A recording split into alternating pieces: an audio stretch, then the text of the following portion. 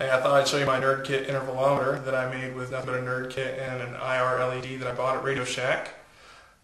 An intervalometer is simply a remote control for your camera that takes pictures at a specified interval. You can use this to make things like time-lapse photographs of really cool things like sunsets or flowers blooming or sunrises or snowfall, things like that. When I finished mine, I went ahead and made one that was permanent. I'm still working on it, but this is what it's going to look like. As you see, it's an Altoids tin. It's got a power switch got a mode switch, trigger buttons right here, and you can see over here is the infrared LED, and then this is the indicator to let you know that the LED is firing. This right here is how you set the interval so that you can choose how long you want it to wait between pictures. In remote mode, every time you press a button, it releases the shutter. This could be useful for maybe you're taking a family picture, you don't want to have to run back and forth to get into it. Uh, or maybe you wanted to take a picture that has a really slow shutter speed and camera shake will, will ruin the image. Uh, a remote works really well for that.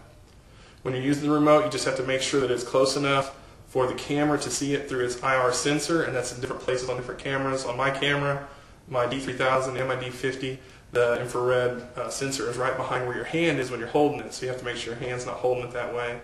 Um, of course, you're probably going to have it on a tripod anyway.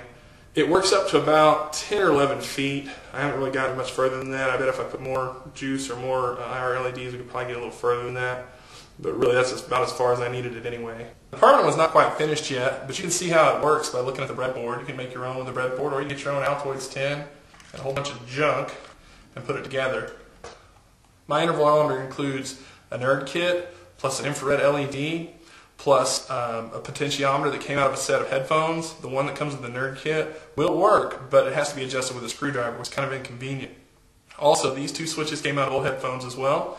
Your Nerdkit has switches that work just like these do. These are just single pole, double throw switches, but I use these because I like the ones in the Nerdkit on my breadboard. That's why I kept them there. The trigger button I, am using a different trigger button just because I didn't like the way the NerdKit's trigger button looked. It's big and bulky and ugly and red, and so I went ahead and just used a small one that I had got off of DigiKey for like 59 cents. The software for the intervalometer is, isn't super complex. Uh, if you read through it, you'll see exactly how it works. Basically, you turn the intervalometer on, it sits there waiting for a trigger. Once you've pushed that trigger button, the next thing it does is it looks to see what mode it's in. If it's in remote mode, it just takes a picture and then waits for a button again. If it's an intervalometer mode, it checks the interval and sets it to whatever you have the interval set to. Then it takes a picture and then it waits until the interval has passed, takes another picture, and it just keeps looping like that through it until the battery dies.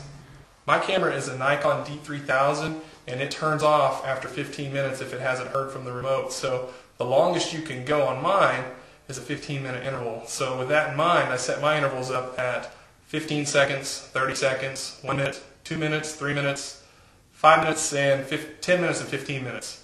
Um, and that's all adjustable in the software.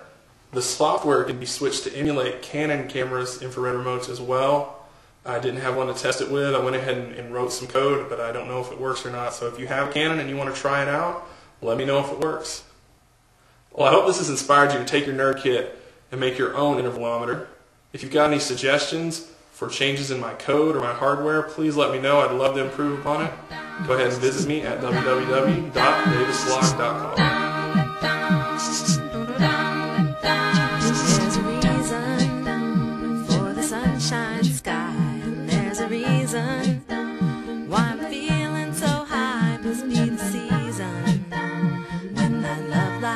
around.